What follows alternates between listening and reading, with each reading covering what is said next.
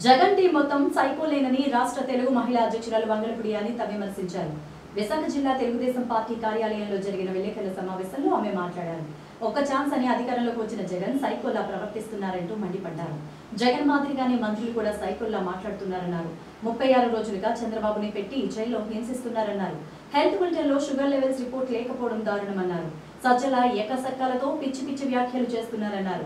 Deputy CM Narayana Swamy అమ్మ లాంటి భువనేశ్వరిపై పిచ్చి కూతలు కూస్తున్నారని లోకేష్ని సీఎం చేయడం కోసం భువనేశ్వరి భోజనంలో విషం పెడుతుందని చెప్పడం దారుణమన్నారు. రిషికొండపై సీఎం హెలికాప్టర్ చక్కర్లు కొట్టిందని శివ సినిమాలో ఓ పాటలో చరణంలో ఉందని జగన్ పరిస్థితి చెప్పారు. భువనేశ్వరి అంటే భయంతోనే ఆమెను కలవనివ్వడం లేదని చంద్రబాబు నిర్దేశిగా బయటకు వస్తారని ఆమె ఆశాభావాన్ని వ్యక్తం చేశారు. అంటే ఆ విచక్షణ రహితంగా కనీసం మినిమం కామన్ సెన్స్ లేకుండా ఒక పద్ధతి ఒక సభ్యత సంస్కారం అనే వాటికి అడ్రస్ తెలియకుండా వాళ్ళు పెట్టే ప్రెస్ మీట్లు వాళ్ళు చేసే కామెంట్లు ఇవన్నీ చూస్తూ ఉంటే యథా రాజా తదా క్యాడర్ అన్నట్టుగా జగన్మోహన్ రెడ్డి ఏ రీతిలో అయితే మాట్లాడుతున్నాడో జగన్మోహన్ రెడ్డి ఏ రీతిలో అయితే తన సైకోయిజం ప్రదర్శిస్తున్నాడో అట్ ద సేమ్ టైం మంత్రులు వీళ్ళందరూ కూడా యాజ్ టీజ్గా అలాగే మాట్లాడే పరిస్థితి. కొంతమంది మంత్రులు ఉన్నారు దళిత కార్డు పెట్టుకుంటారు.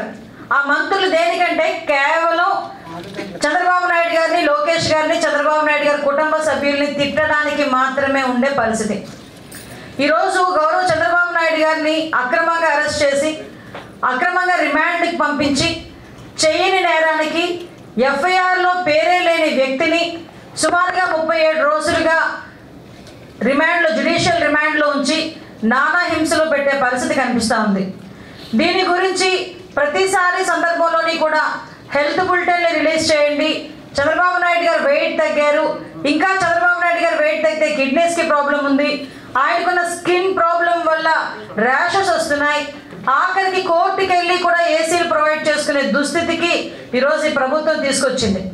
అటువంటి పరిస్థితుల్లో చంద్రబాబు నాయుడు గారి ఆరోగ్య పరిస్థితి దృష్ట్యా ప్రతి ఒక్కరు కూడా ఇబ్బందులు పడి ప్రతి ఒక్కరు ఆందోళన పడి ప్రపంచవ్యాప్తంగా తెలుగుదేశం పార్టీ మీద అభిమానులు కానీ చంద్రబాబు నాయుడు గారి మీద అభిమానులు కానీ ప్రాంతాలకు అతీతంగా పార్టీలకు అతీతంగా మాట్లాడుతూ ఉంటే దానికి కూడా ఉక్రోషం పెరిగిపోతుంది జగన్మోహన్ రెడ్డికి.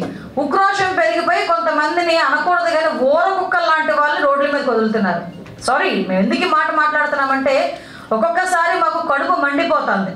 ఎవరి గురించి మాట్లాడుతున్నారు? ఏం మాట్లాడుతున్నారు? చంద్రబాబు నాయుడు గారు వెయిట్ లాస్ అయ్యారు. చంద్రబాబు నాయుడు గారికి స్కిన్ మీద దద్దుర్లు వచ్చినాయి. ఆయనకి డిహైడ్రేషన్ డిహైడ్రేషన్ అయింది. ఆయనకి ప్రాబ్లంగా ఉంది. ఆయన health bulletin minimum health bulletin release చేయండి అంటే నిన్న విడుదల చేసిన హెల్త్ బులెటిన్లో కనీసం షుగర్ లెవెల్స్ కూడా మెన్షన్ చేయలేని దుస్థితిలో ఒక హెల్త్ బులెటిన్ ఉందా? ఒక్కసారి ఆలోచించండి ఒక హెల్త్ బులెటిన్ అంటే షుగర్ లెవెల్స్ చెప్తారు బీపీ చెప్తారు పల్స్ చెప్తారు. అట్ ద సేమ్ టైం అతనికి ఏదైనా ప్రాబ్లం ఉంటే ఏ మెడికేషన్ యూస్ చేస్తున్నారు ఎంతవరకు తగ్గింది ఇవన్నీ కూడా హెల్త్ బులెటిన్లో చెప్తారు. అటువంటిది షుగర్ లెవెల్స్ కూడా మెన్షన్ చేయలేని ఒక హెల్త్ బులెటిన్ రిలీజ్ చేస్తూ ఉంటే డెబ్బై నాలుగు సంవత్సరాల వయసులో చె- చెయ్యని తప్పుకి అతను కనుక ఇబ్బందులు పడే పరిస్థితి నుంచి అతనికి విముక్తి కలగజేయాలి అని చెప్పి మాట్లాడుతూ ఉంటే దాని గురించి స్పందించకపోయినా పర్వాలేదు. కానీ దాని గురించి కొంచెం విపరీతంగా మాట్లాడే పరిస్థితి. మొన్న సకల శాఖ మంత్రి బయటకు వచ్చి ఇంటి నుంచే భోజనం వస్తుంది కదా అని మాట్లాడాడు. మొన్న నిన్న మాట్లాడితే జైలు అనుకుంటున్నారు అత్తారీలు కాదు అది సకల సౌకర్యాలు ఉండడానికి అని చెప్పి ఒక మంత్రి వచ్చి మాట్లాడతాడు. నిన్న ఏకంగా పెద్దిరెడ్డి రామచంద్రారెడ్డి కాళ్ళ దగ్గర కూర్చున్న ఒక దళిత మంత్రి నేను ఒక దళితురాలిని. నాకంటూ ఒక ఆత్మాభిమానం ఉంది.